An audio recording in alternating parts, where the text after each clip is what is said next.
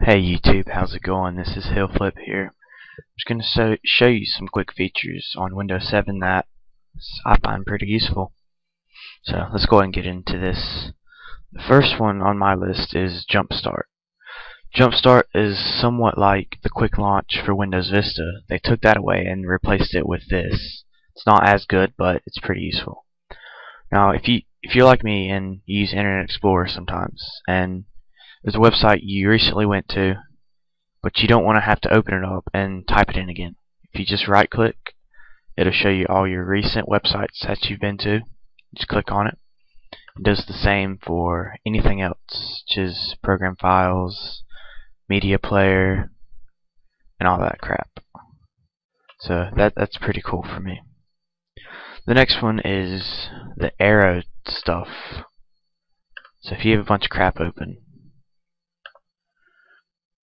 and let's say out of all these files you only want this one open.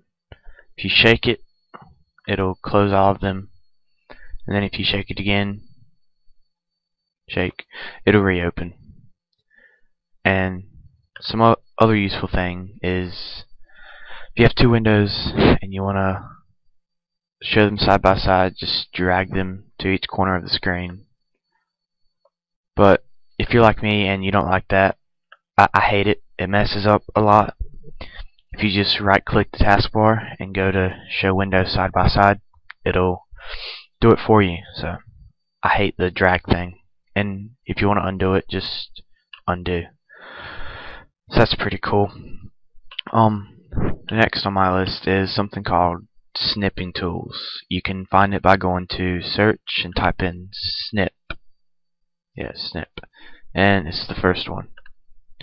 What snipping tool does is basically take your screen and you can cut anything out of the screen. Like let's say I want the back of this car. All I'll do is drag and drop and then it'll edit what I snipped out and make it into a picture.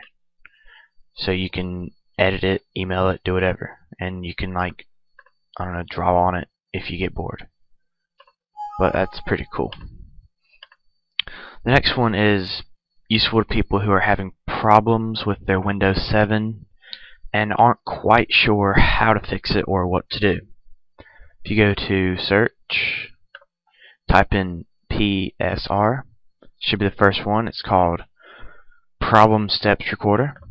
If you open that, what this does is if you're having a problem, say you're connecting an MP3 player or an iPod and it won't read it or it says something's wrong or it's not compatible.